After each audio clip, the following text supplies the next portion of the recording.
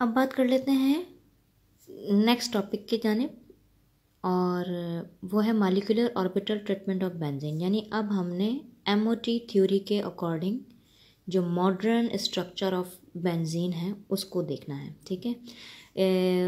ये molecular orbital theory जो कि एक साइंटिस्ट की एक टीम थी पूरी, जो कि 1927 में करीबन उन्होंने, जब वैलेंस बॉन्ड थ्योरी के बाद ये मालिकुलर ऑर्बिटल जो थ्योरी आई थी, उसके बाद इसकी मालिकुलर ऑर्बिटल थ्योरी के अकॉर्डिंग इसकी बेंजीन के स्ट्रक्चर की एक्सप्लेनेशन आई थी। तो अब हमने वो देखना है कि molecular orbital theory benzene के स्ट्रक्चर के बारे में क्या इन्फॉर्मेशन हमें देती है।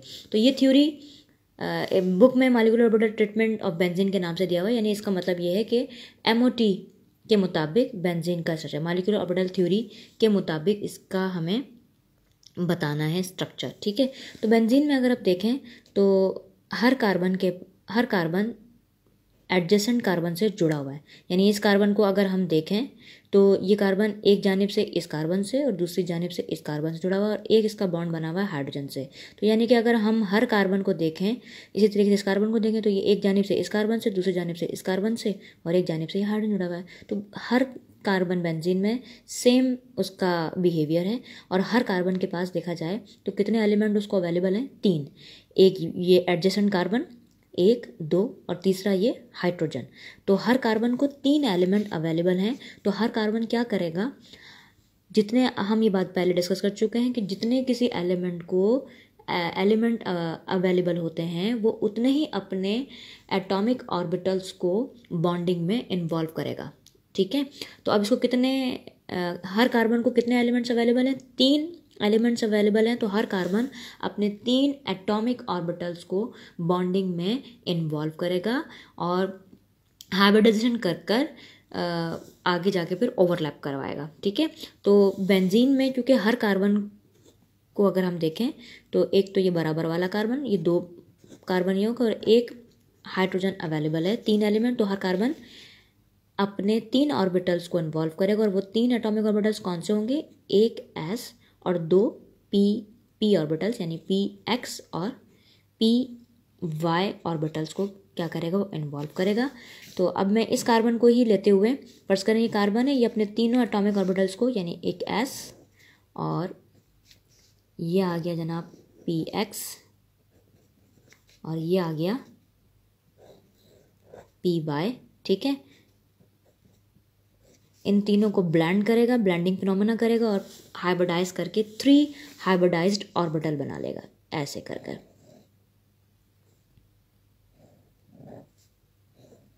ठीक है? ये हर कार्बन के क्या हो गए? थ्री क्योंकि एक एस और तीन दो पी ऑर्बिटल्स को इन्वॉल्व करा तो ये हो गए क्या? एस पी टू हाइब्रिडाइजेशन और ये three S P two hybridise orbital बन गए।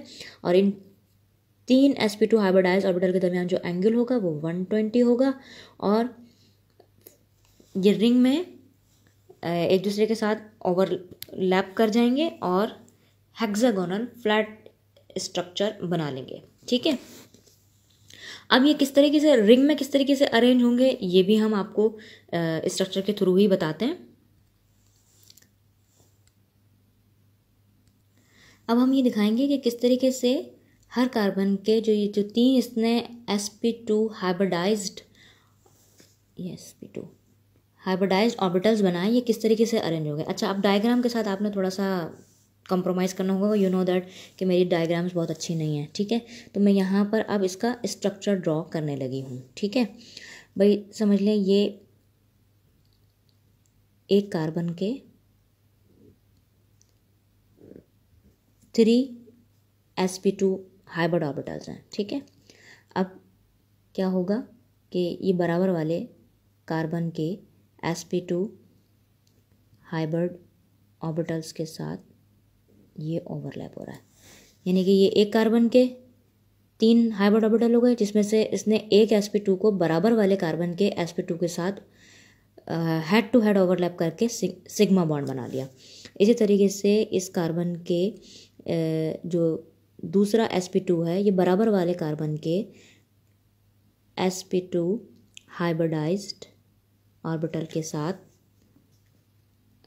ओवरलैप कर कर सिग्मा बॉन्ड बनाएगा। ठीक है? अब ये बराबर वाले कार्बन के तीन सिग्मा बॉन्ड वो थे एस पी टू ऑर्बिटल्स जिसमें से एक को इसने इस कार्बन के एस पी टू के साथ ओवरलैप करके सिग्मा बॉन्ड बना लिया। ठीक है?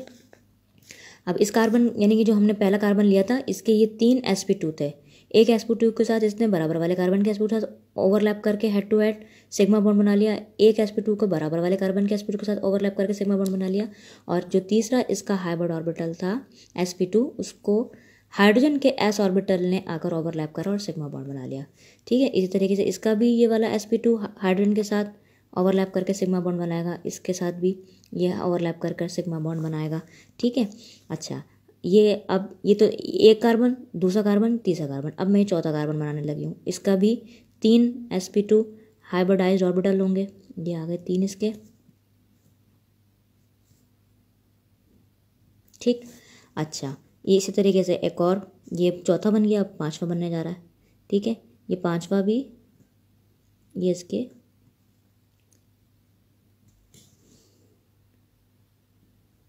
फाइव ऑर्बिटल्स बन जाएँगे, ठीक है? अच्छा अब ये, इसके भी फाइव ये एक के साथ हाइड्रोजन ओवरलैप कर गया, एक के साथ बराबर वाले कार्बन का एस पी टू ओवरलैप कर गया, ठीक है? इसका भी बराबर वाले कार्बन के साथ ओवरलैप कर गया, एक के यहाँ हाइड्रोजन आगे ओवरलैप कर गया। अच्छा अब छठा कार्बन है, अब इसका कुछ बेहंगम सी बन रही है आई नो बट अब आपको थोड़ा बहुत तो आइडिया हो जाएगा कि भाई कैसे काम हो रहा है। अब ये जो छठा छठा है, मैं इसका थोड़ा सा ज़रा बड़ा बन जाएँगे। पेन से बना रही हूँ। दूसरा ये कि मेरी डायग्राम्स अच्छी नहीं है भाई। ठीक है? ये छठे कार्बन के इसी तरीके से तीन S P two hybridise orbitals हो गए। जिसमें से एक को उसने बराबर वाले कार्बन के एस पी टू के साथ हाइब्रिडाइज कर लिया।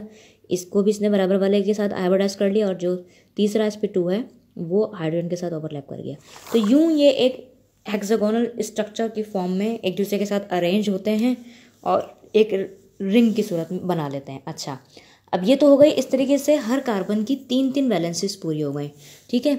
बराबर बराबर वाले कार्बन से इन्होंने सिग्मा बॉन्ड बनाया और हाइड्रोजन के साथ एक सिग्मा बॉन्ड बनाया तो तीन बॉन्डिंग्स तो हो गए। अब इसकी चौथी वैलेंसी कैसे पूरी होगी? तो वो देखें। अब क्या है? हर कार्बन के पास एक अनहाइब्रिडाइज मैं यहाँ पर भी इसको मैंशन कर देती हूँ, ये तीन तो हाइब्रिडाइजेशन में इन्वॉल्व हो गए, ठीक है? जबकि जो तीसरा पी ऑर्बिटल है that is P Z orbital वो क्या है? अनहाइब्रिडाइज फॉर्म के अंदर अपने टू टू लूप्स के साथ एज इट इज़ मौजूद रहेगा इन दोनों, सभी कार्बन के पास। ये अब मैं कार्बन का जो ब्लैक सिप बना रही हूँ, ये हर कार्बन का क्या है? पी जेड ऑर्बिटल है। जो हाइब्रिडाइज थे उनको तो उन्होंने सिग्मा बॉन्ड में बनाने में इन्वॉल्व कर लिया, ठीक है? जो अनहाइब्रिडाइज है, वो ये इस तरीके से मौजूद है।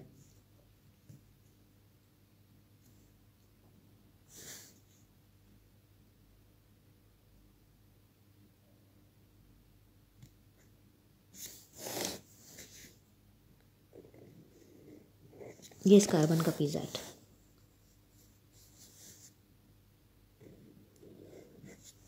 ठीक? ये इस कार्बन का।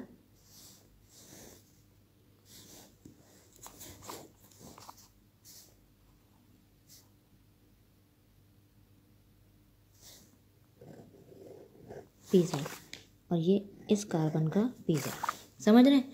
ये हर कार्बन का जो पी जेड अनहाइब्रिडाइज फॉर्म में जो कि जिसने हाइब्रिडाइजेशन में पार्टिसिपेशन नहीं की थी, वो मौजूद है। अब ये जो अनहाइब्रिडाइज है, ये फोर वैलेंसीज को कैसे करेंगे? ये आपस में ये ऊपर वाला लूप यानी अपर लूप अपर लूप से ओवरलैप कर कर ये पाइपॉन्ड बना लेगा। ये दो कार्बन के पीजेड आपस में पैरेलली ओवरलैप करके उन्होंने पाइपॉन्ड बना लिया। ये जो दो बराबर वाले कार्बन थे, इन्होंने भी ऊपर वाला, ऊपर के साथ, नीचे वाला, नीचे के साथ ओवरलैप करके पाइपॉन बना लिया। इसी तरीके से ये वाले जो दो कार्बन है, इन्होंने भी आपस में इस तरीके से करके तो ये एक आपको बाज़ार से ऐसा लग रहा है गंदा सा हमने फूल बनाया है, लेकिन ये गंदा सा फूल नहीं है। ये मैंने आपको बता दिया कि किस तरीके से कार्बन के हाइब्रिडाइज्ड और अनहाइब्रिडाइज्ड ऑर्बिटल्स ओवरलैप करें। अभी